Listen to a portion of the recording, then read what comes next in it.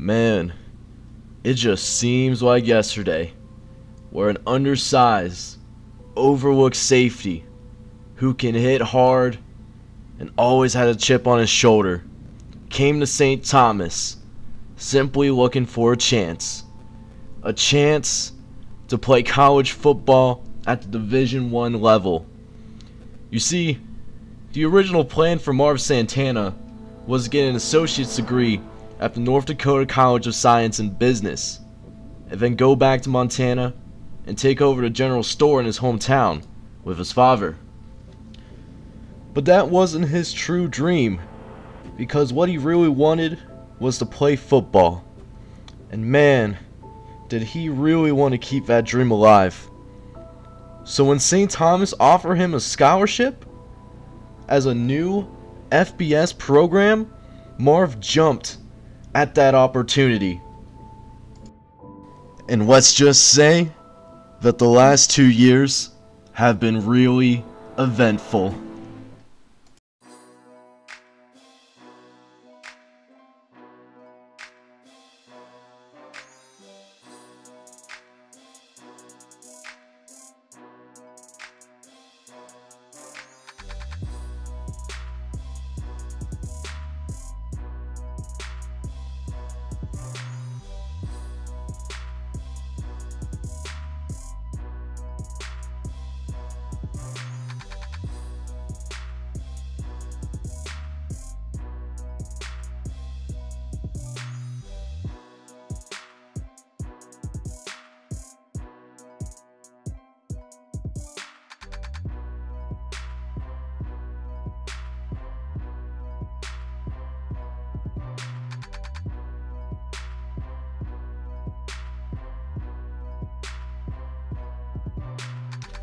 But despite the stats that he put up in the last two years and an insane highlight tape, the NFL never decided to come calling.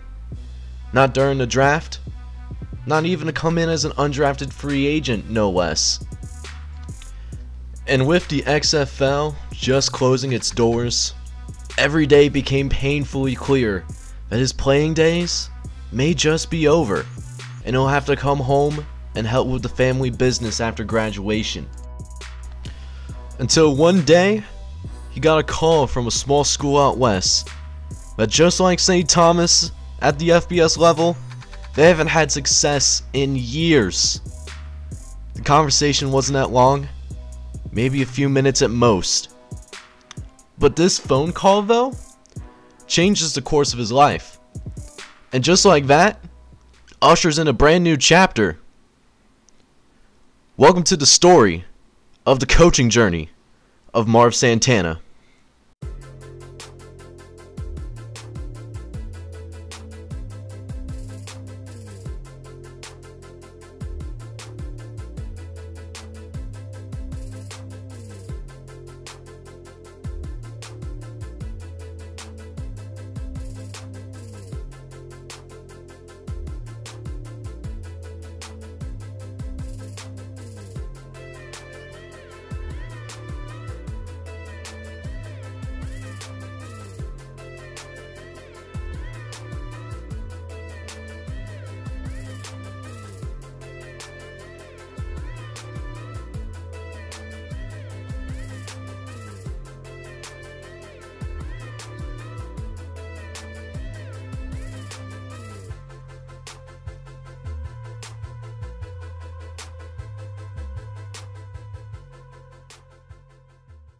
What's going on guys? This is John Jake Gaming on the mic here and welcome starting a brand new series here on this channel as y'all could probably already tell it's the coaching journey of Marv Santana.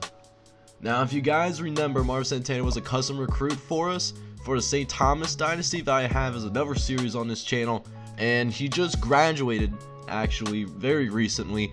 And even though he wasn't going to the NFL or even the XFL, you know, it was simply too good to pass up. You know, the coaching journey, the journey for Marv Santana cannot simply end with the St. Thomas Dynasty. So here he is.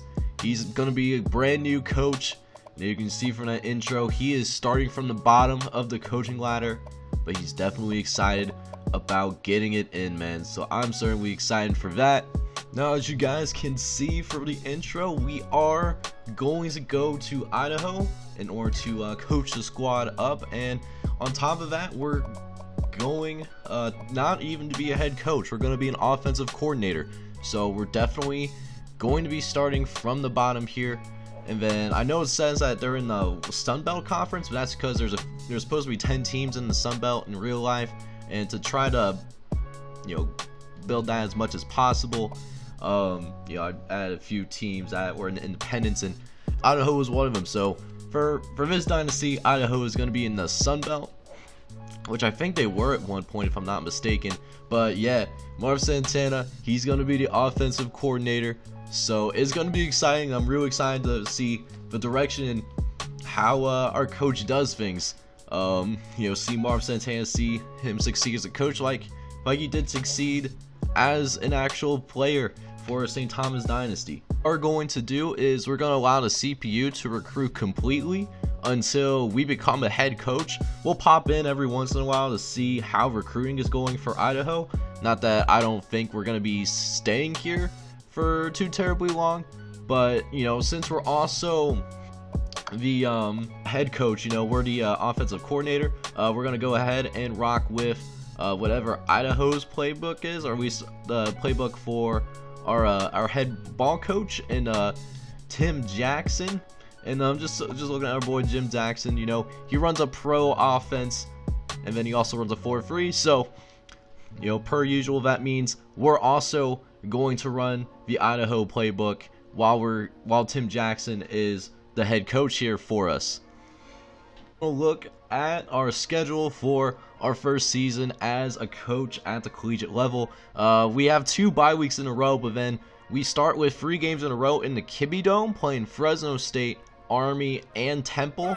Then we'll go on the road the first time to play Georgia State, home against Arkansas State, on the road to play Washington State as a rival, which I honestly didn't know that, home against Texas State, two more road games against South Alabama and Troy, home game against UL Lafayette, that's going to be senior day, and then finish up with road games against New Mexico State and UL Monroe. It's not a good strength of schedule, but it'll help us, you know, at least give us a little springboard for, you know, what's coming next for our boy Marv Santana. But that's going to do it here. Next time out, I'll play the first couple of games of Marv Santana's coaching career. Thank you guys so much for tuning into this video. Make sure you leave a like as well as subscribe to the channel if you had to be brand new. This is John Jake Gaming on the mic, and I hope you all have a wonderful day, guys. Take care, everybody.